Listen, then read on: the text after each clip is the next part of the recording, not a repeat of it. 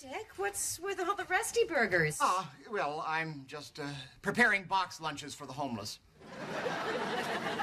Why are you putting all the food in the trash? It makes them more comfortable. Mary, you can be so insensitive.